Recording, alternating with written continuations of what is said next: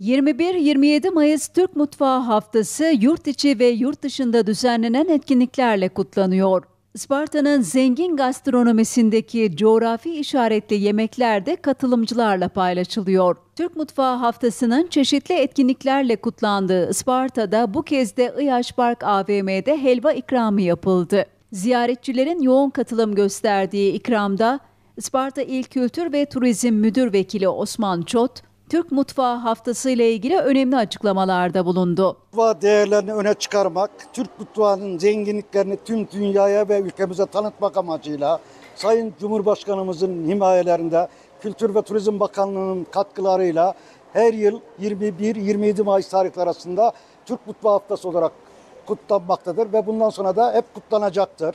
Bu yılki temamız Türk mutfağını dünyada Ege yöresinin yemeklerini tanı tanıtmak.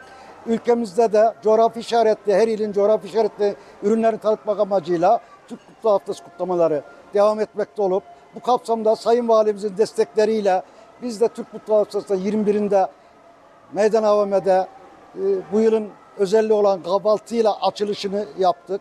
22 Mayıs 2024'te ilimizin coğrafi işaretli yemeklerinin atölye çalışmalarıyla hem hazırlanmasını hem de sonradan ikramını yaptık. Sonra belediye başkanlığımızca hazırlanan kabine pilavının dağıtımını yaptık. Bugün de İyaş yönetimine özellikle teşekkür ediyorum.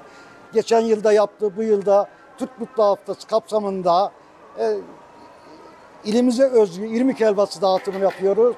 Ben Türk Mutlu Haftası'nın hayırlı olmasını diliyorum. Helva ikramı gün boyu devam etti.